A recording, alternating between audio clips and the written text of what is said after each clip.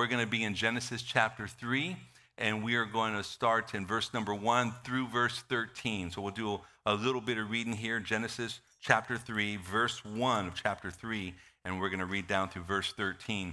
Now it reads, Now the serpent was more cunning than any beast of the, any beast of the field which the Lord God had made. And he said to the woman, Has God indeed said, You shall not eat of every tree of the garden? And the woman said to the serpent, We may eat the fruit of the trees of the garden. But of the fruit of the tree which is in the midst of the garden, God has said, You shall not eat it, nor shall you touch it, lest you die. Then the serpent said to the woman, You will not surely die, for God knows that in the day you eat of it, your eyes will be opened, and you will be like God, knowing good and evil. So when the woman saw that the tree was good for food, and that it was pleasant to the eyes, and a tree desirable to make one wise, she took of its fruit and ate. She also gave to her husband with her, and he ate. Then the eyes of both of them were opened, and they knew they were naked, and they sewed fig leaves together and made themselves coverings. And they heard the sound of the Lord walking in the garden in the cool of the day, and Adam and his wife hid themselves from the presence of the Lord among the trees of the garden. Then the Lord God called to Adam and said to him, Where are you? So he said, I heard your voice in the garden, and I was afraid because I was naked, and I hid myself. And he said, Who told you that you were naked? Have you eaten from the tree of which I command you that you should not eat? Then the man said, The woman whom you gave to me, who, whom you gave to me with me, she gave me of the tree, and I ate. And the Lord God said to the woman, What is this you have done? The woman said, Well, the serpent deceived me, and I ate. Heavenly Father, we thank you, Lord, and give you praises, my God, for this day, this opportunity to gather and to hear your word. We ask, Lord, that you would open our ears to hear and soften our hearts to receive the message you have for us today. We ask, Lord, that you, your Holy Spirit would move mightily among us today. That, Father, that you would begin now to break the chains of guilt and shame.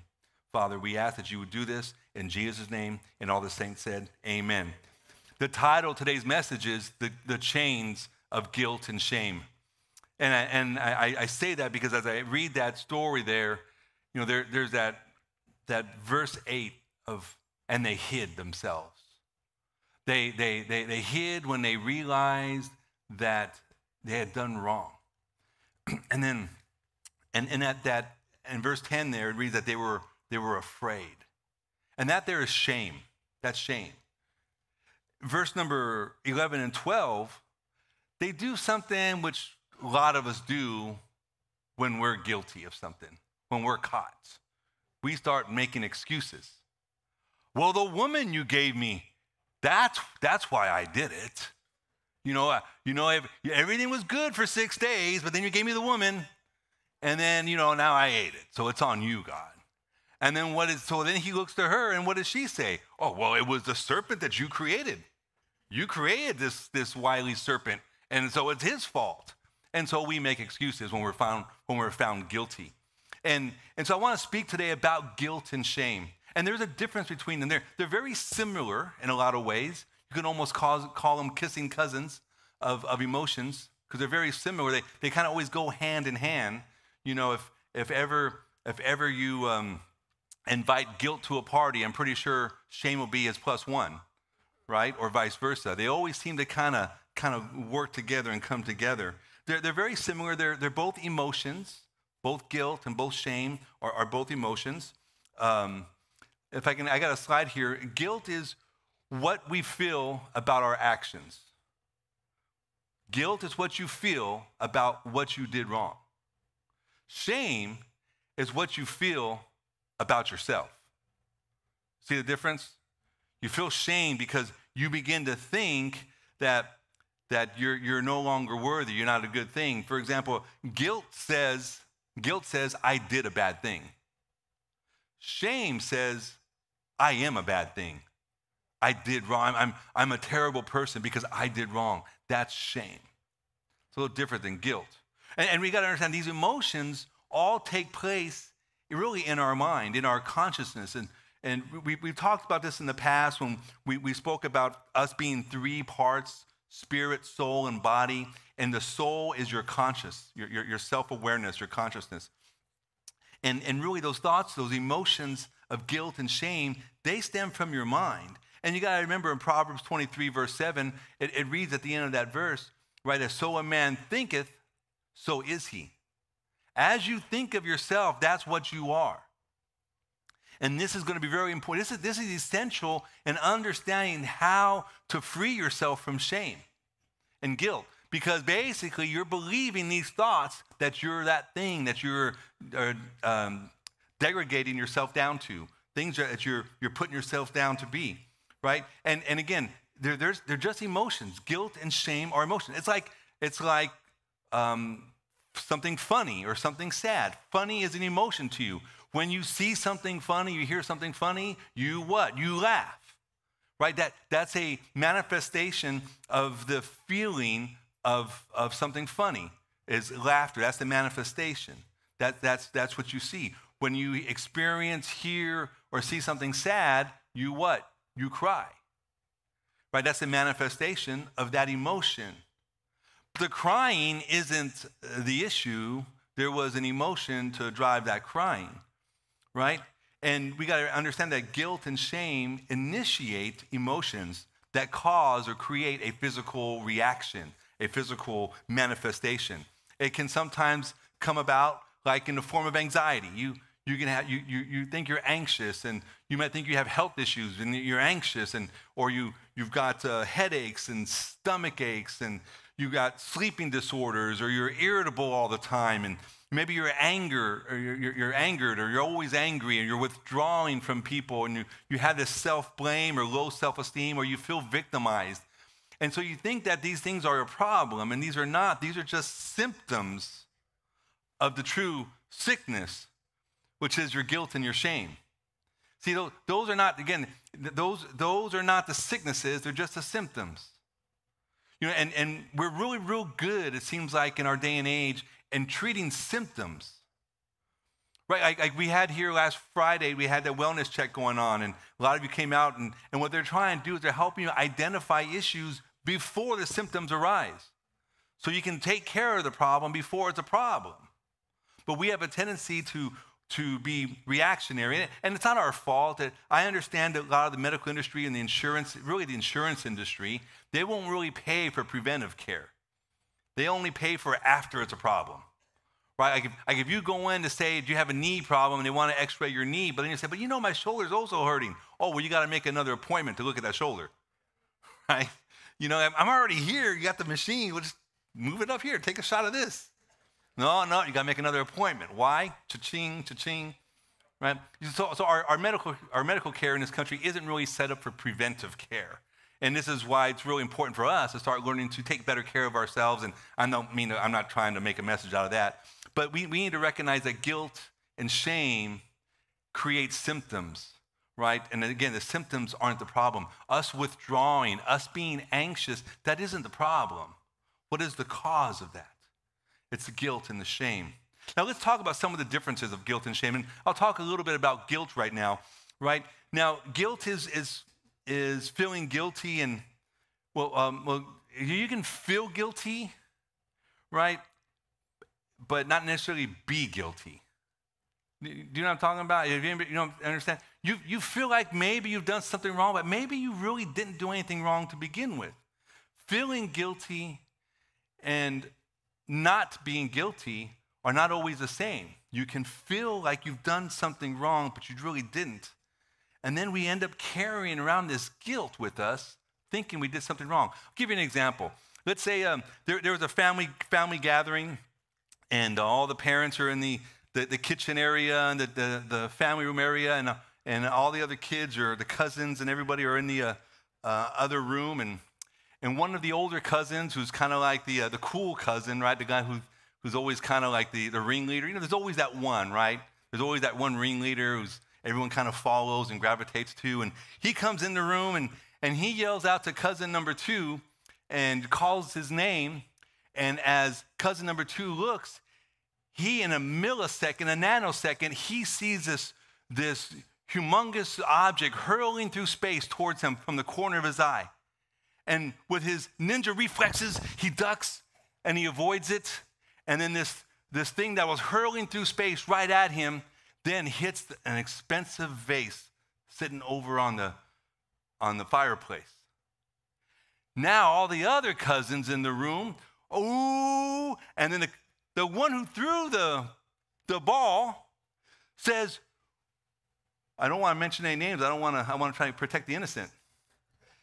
Says to the other cousin, he said, Why didn't you catch it? You broke the vase. And the other cousin's like, uh, I, am sorry. I was just trying to save my life.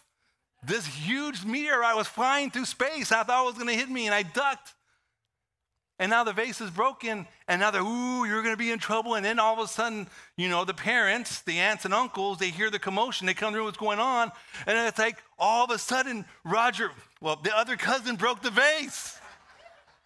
He broke the vase, and I'm like, I'm sorry. And I was just ducking, and, and everyone like, and then that, I'm now all of a sudden, I'm in trouble. I didn't break the vase. The guy who threw the ball broke the vase. You know, and and and but but so and I, I but I for years I walked around always self-conscious going to that family member's house knowing that I broke the vase. And like they're always watching me now, like, okay, my, my family calls my family calls me Roger John.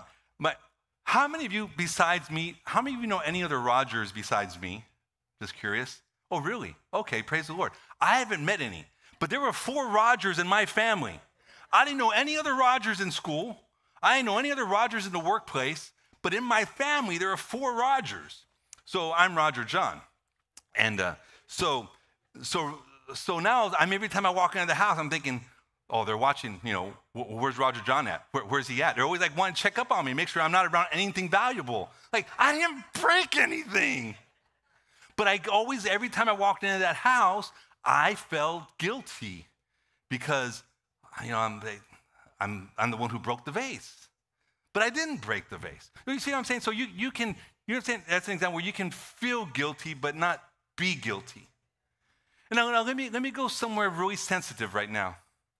If there's any young kids in the room, I don't know, parents, you may want to have them step out, I don't know, but it's, it's people who have, who have experienced sexual misappropriations, they've been molested and abused.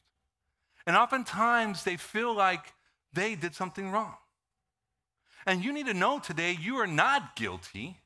Even though you may have been made to feel guilty, you are not guilty. You did nothing wrong. The person who violated you is the one who did wrong. Just like the cousin who came in and threw the ball. I didn't break the vase. The one who threw the ball broke the vase. I did nothing wrong. And so if you uh, today you can be free from that, that guilt that you're carrying around, that you're thinking you did something wrong. You did not do anything wrong. And I need you, just the Lord needs you to hear that. That you didn't do anything wrong. You can stop carrying that around. You can stop thinking that you're guilty of something you didn't do. John chapter 8, verse 31 verse, and 32 says, If you abide in my word, and you are my disciples, and you shall know the truth, and the truth shall set you free. And so if you're carrying around some guilt that you you know you didn't really do, you can be free today. You can be free through Jesus Christ and stop carrying around that, that guilt, carrying around that weight. Now, and then there's also there's also being guilty and feeling guilty.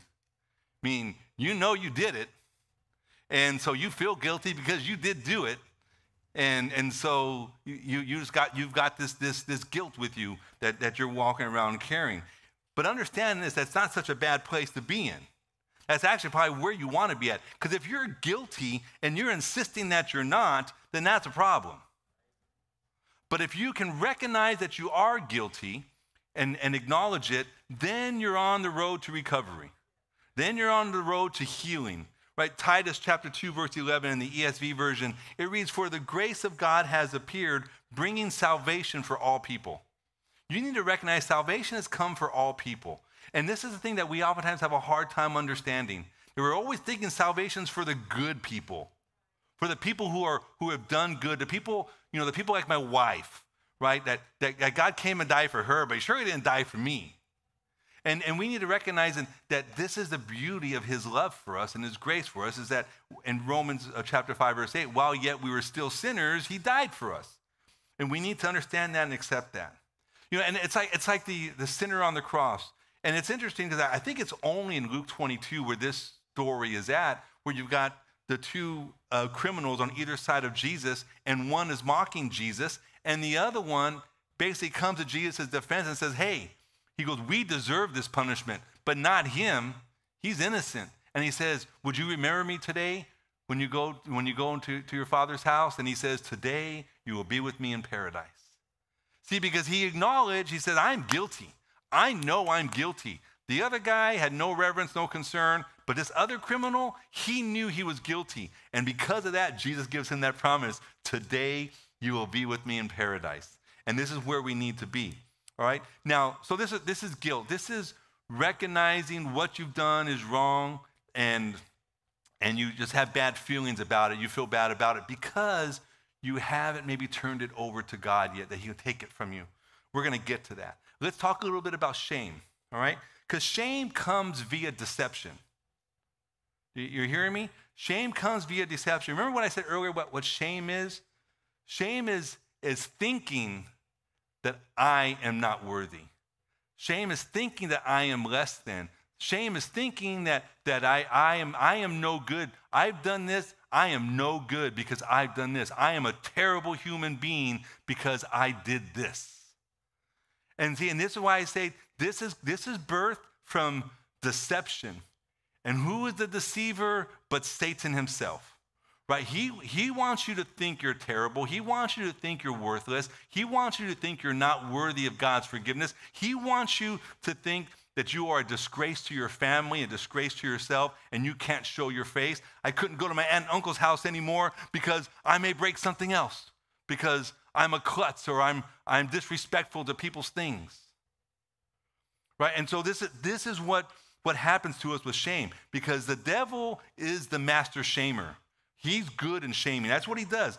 Revelation 12 9, it reads So the great dragon was cast out, the serpent of old called the devil and Satan. Who, what? What does he do? He deceives the whole world. This is what he does. He deceives.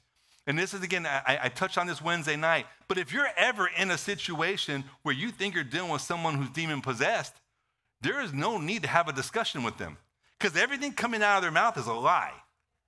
So you have no need to have a discussion. You just cast out in the name of Jesus, right? Don't no. Why talk to a liar? You know everything that come out is going to be a lie. Unless, of course, sometimes it's kind of humorous with those people, right? Where you know everything's going to lie, and you say, "Oh yeah," and then what happened? And then you hear a really big tale, right? But but the, the devil is a deceiver. This is what he does. John chapter 8, verse 44, at the very end of the verse, right? It reads, But he is a liar and he is the father of lies. So, so when, you, when you start thinking that you're not worthy, that you're a failure, that you're less than, who's saying that to you? It's not God. That's what the devil says, but God doesn't say that. Psalm 139, verse 14 is very clear. You are fearfully and wonderfully made. I love the second part of that verse, is that marvelous are his works. You are marvelous. You are, you are great, you are great craftsmanship of him. You, he is the potter, you were the clay. He made you, he formed you. You are not, when you hear those things that you're not worthy, that you are, you know, you're no good, you're, you're not, you're not uh, worthy of his love or his praise, that is a lie. In fact, it's just the opposite of our Lord and our Savior. In Zephaniah 3.17, it, it reads that he rejoices over us with, with singing. That God, you've heard me say this before, because I, I always want people to understand this, that the God of the universe is singing over you He's rejoicing over you.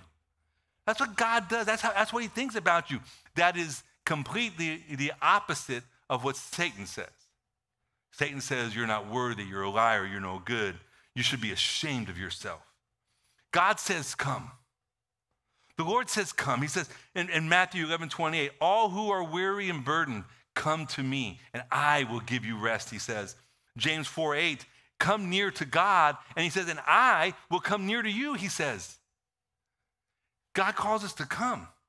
Matthew 4 and 19, Jesus says, Come, and I will make you fishers of men.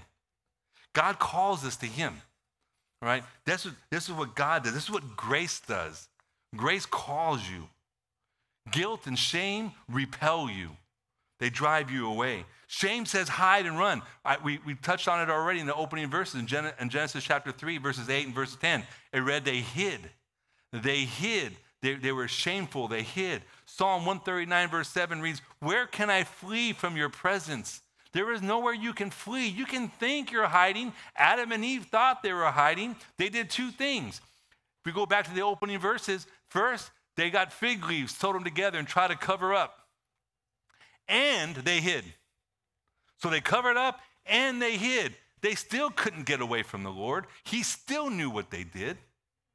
It's just like with King David when he has the affair with Bathsheba and conceives her and sends Nathan the prophet and gives him the story about, well, if a man took another man's sheep and all this, and, and he says, oh man, that man should be put to death. And he says, you're that man.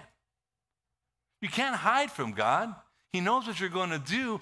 But these are, this is, I, I, want I want you to know, but there is hope. There is restoration in our Lord and Savior Jesus Christ.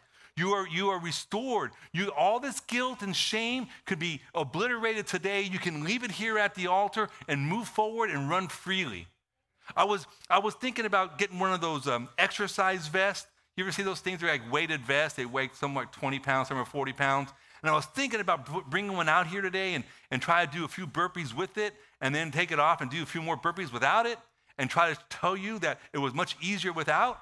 I was afraid that I wouldn't be able to do the one with the weighted vest, so that's why I didn't do it. But this is what it's like.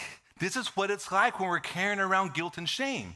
We're weighted down, we're bogged down, we're, we're, we're, being held back. And so we need to recognize that there is restoration in Christ. In Joel chapter 2, verse 25, it reads, He will restore what the locust and the cankerworm has stolen. He will, he will restore, he will, he will give us back what, what the devil has taken from us.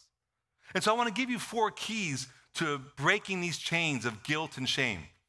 Okay, four keys of breaking these guilt and shame. He says, one, one, you need to accept conviction. Yes, accept conviction. I've said this for years to people when I talk to them one on one, and I say this a lot. I say, I love conviction. I embrace conviction. I, I, I really do. I enjoy conviction because it tells me two things. It tells me two vital, vital things. One, in Romans 128, when he's speaking about their sinful, their sinful natures and their sinful ways, he says, I turn them over to their debased minds, basically to their to their, their, their sinful ways. Was, I just turned, he says, I turned them over.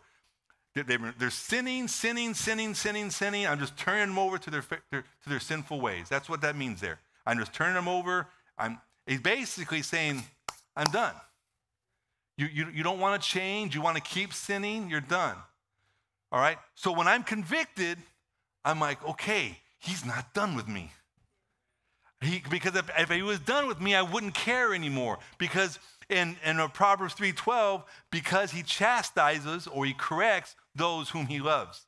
And that tells me the Holy Spirit's still correcting me because that's what the Holy Spirit does. The Holy Spirit corrects in John chapter 16 and John chapter 14. It speaks about the Holy Spirit's conviction and correction and guidance. And so the Holy Spirit's still convicting me. So if I'm being convicted by the Holy Spirit, I'm like, that's a good place. The moment I stop hearing from the Holy Spirit, the moment that sin no longer affects me, then I am, then I am lost. But if sin still affects you, this is the good news. If sin still affects you, that means the Holy Spirit's still working in your life. And then you can, you can give it up to God, you can give it to the Lord and, and receive forgiveness and be set free. When sin's no longer affecting you, then that's a, that's a tough place. Because then you're going to have a harder time asking for help because you think you don't need help. But I want you to know, even if you feel you become numb to Christ, he still will, he will still love you and forgive you. All you got to do is confess. Acknowledge your sin. We're going to get into that here in just a little bit. All right? So we need to accept, key number one, accept conviction. I, like I said, I don't even accept it. I look forward to it. Accept conviction. Key number two, offer confession.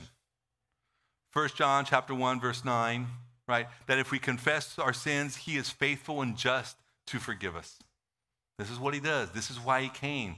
He, he wants us to be free. He wants us to, to receive his gift of grace, Ephesians 2 8. right? It's, it's a gift so that no man may boast. Right? He wants us to receive it. We, we, but we got, to, we got to confess so we can receive his grace. And you know, in Luke chapter 12, verses 2 and 3, uh, it speaks about that there is nothing covered that will not be uh, revealed. Meaning, if you try to cover your sin, you try to hide it, eventually it will be exposed. Some people will paraphrase this, this verse as to something like this What is done in the dark will be brought to the light. That's what's happening here in this verse. You're trying to cover, you're trying to hide your sin so you think that you're getting away with something. But like Adam and Eve in the garden, they couldn't hide. Like David tried to hide in his palace, having an affair with Bathsheba. He couldn't hide from God. Because you close the door and lock it, it doesn't mean God can't see. He, his x ray vision isn't limited like Superman's. You put a lead wall up and Superman can't see anything. That's not our God. He can see through that. So, locking the door, clearing your computer history doesn't make the sin go away. It's still on record with the Lord. You need to take it to God. I'm sorry. I know it's really quiet in this Presbyterian church here this morning. Love you, Presbyterians. All right. God bless you.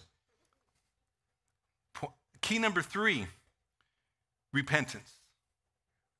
2 Peter 3 9, that God's not willing that any should perish, but he desires that all would come to repentance. We need to repent. It's not enough just to say, I'm sorry. You know, I, I, we, we told our kids, we raised our kids all the time, don't tell me you're sorry, show me you're sorry. Stop doing the thing you're sorry about. You know, I, again, I tell, sorry is just words. Yes, they're nice to hear, but if you go back the next day, the next hour, and just do again what you were just apologizing for, are you sorry for it? Have you repented? So he calls us to repent, to turn away, to stop doing what we were doing to begin with. Uh, uh, uh, Matthew 3 8, it reads, Bear fruit worthy of repentance. Bear, that means to obey is better than sacrifice, is what that's saying there. That means your life should be producing fruit that's worthy of, of repentance, meaning that I now, I'm no longer doing the things of sin, and so therefore I'm not producing bad fruit, I'm producing good fruit. Why? Because we know in, in Mark 7, verse 8, it reads, A good tree cannot bear bad fruit, nor can a bad tree bear good fruit. And so I need to be ground, rooted in good soil with good seed so I can produce good fruit. But if I'm running around doing evil and wicked, then that's what I'm going to produce. All right, key number four is accept forgiveness. This, you, and you need to get hold of this. I kind of touched on it earlier about God's love, that He rejoices over you with singing. But understand that, just understand that He loves you. Like I, I told you in Psalm 139, verse 14, where you are fearfully and wonderfully made, and, and you are made in, in the likeness of His image. Jeremiah 31, 3, right? That He has loved you. This, get this, that the Lord has loved you with an everlasting love. Jeremiah 31 3. That is something that, that is something that just I, I constantly have to remind myself that He loves me with an everlasting love. He loves you. You, you. you need to get a hold of that. Even though you, again, You've allowed shame to tell you, I'm not worthy of love. I am no good. I cannot receive this. I can't, I can't even show my face in that church. That is a lie from the devil. You are you're welcome here. We will love you. We'll be an extension in the flesh of our Lord and Savior Jesus Christ. But more importantly, His Holy Spirit's here, and He will love you and, and He'll embrace you, redeem you, if you're just willing to come on in, come to the Lord. Like I said, shame tells you to hide. God and grace tell you to come. And this is what we want you to do. We want you to come. Today, we're going to want you to come to the altar. Whatever guilt and shame you have, we want you to leave it here today. We want you to be free. Right? You understand this, understanding God's love. In Matthew chapter 7, verse 9, it reads that if a, if a child asks a father for, for bread, does he give him stone? No, he don't give him stone, he gives him bread. He says if he asks for an egg, does he give him a serpent? No. He says this is, this is the kind of love the Father has for you, that he'll give you as you ask. If you come asking for forgiveness, he will forgive you.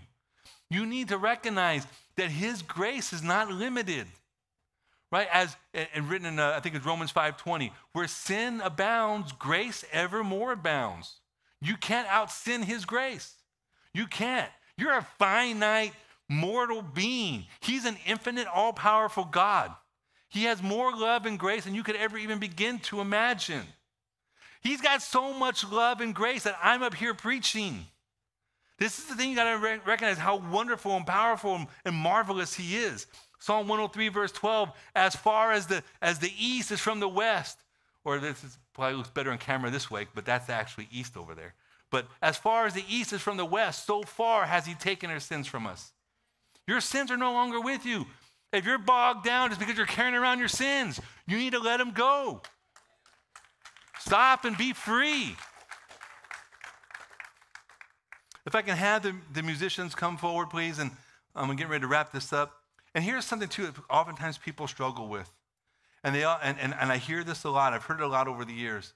I just can't forgive myself, Roger. I can't, I, get, I cannot forgive myself. And I say, you don't need to. Stop. Because God, because Christ, Jesus, took care of it all. In 2 Corinthians chapter 12, verse 9, Jesus, it's, it's like the only red letters in that chapter of 2 Corinthians. And, and Jesus says, My grace is sufficient for you. Do you get what I'm saying there? When you're there saying that, well, I need to forgive myself, you're saying, it's like saying, you know, uh, Ben Garza back there, that Ben Garza's grace is more gracious and more powerful than God's grace. But God's grace is all you need. That's why Jesus says, My grace is sufficient. Do you understand that?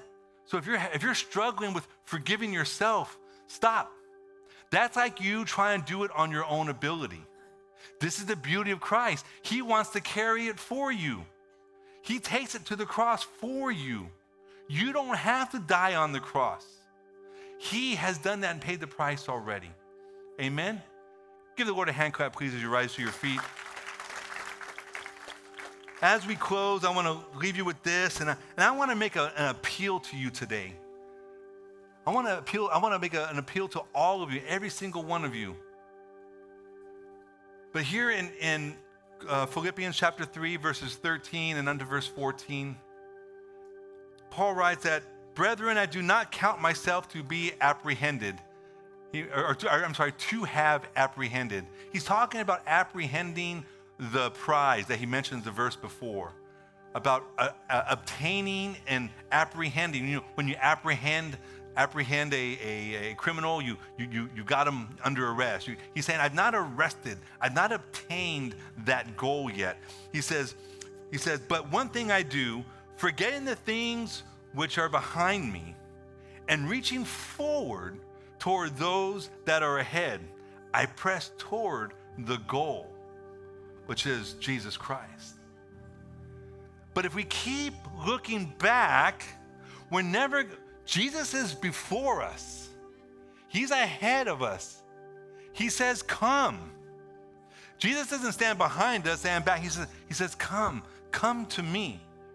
And so today, I'm going to ask if there's, first of all, anybody who's never given their life to Jesus Christ, and you're thinking, man, Roger, you don't know my story. You don't know the, the people I've hurt, the, the damage I've done to myself, the damage I've done to people's possession. You don't, you, you have no idea, Roger. I do not. I don't. But God knows.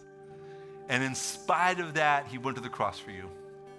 And so if you have any guilt and any shame, you need to come and release it and give it to the Lord. You can come here to the altar and just put it down here.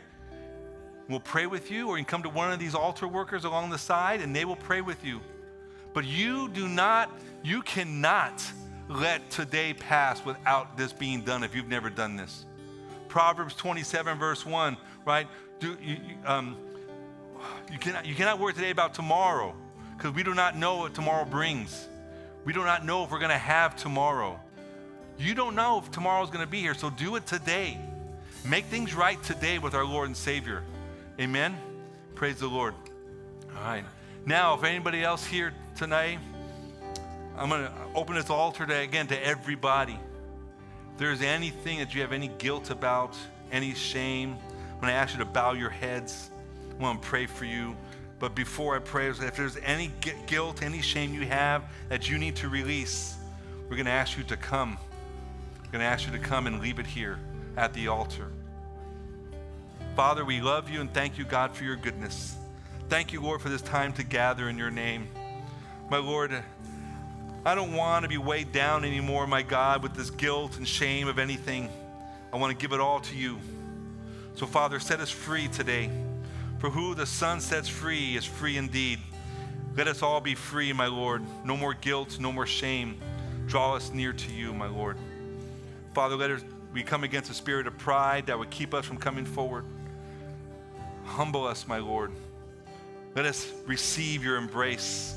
We love you and we thank you. Father, move on the hearts of your people, we pray. In Jesus' name, amen.